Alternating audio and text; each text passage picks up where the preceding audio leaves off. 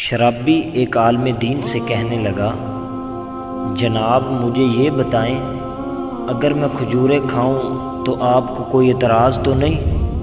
عالم دین کہنے لگا، مجھے کوئی اعتراض نہیں۔ اور شرابی کہنے لگا، اگر اس کے ساتھ میں کچھ جڑی بوٹیاں کھا لوں۔ عالم دین کہنے لگا، مجھے کوئی رکاوٹ نہیں۔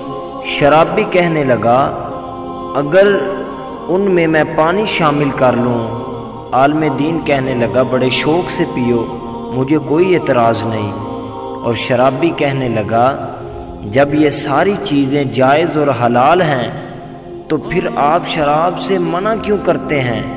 شراب کو حرام کیوں قرار دیتے ہیں؟ حالانکہ اس میں یہی تو چیزیں ہیں جن کے کھانے اور پینے کی اجازت آپ دے رہے ہیں۔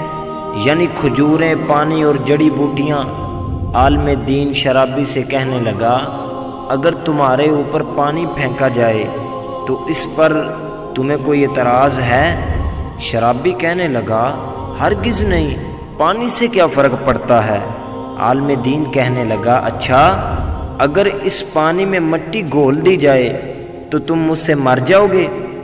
شرابی کہنے لگا، جناب مٹی سے میں نے کسی کو مرتے نہیں دیکھا۔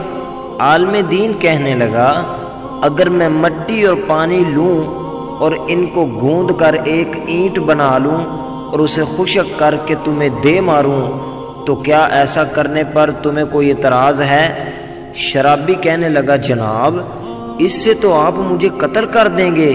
عالم دین نے کہا، شراب کا بھی یہی حال ہے۔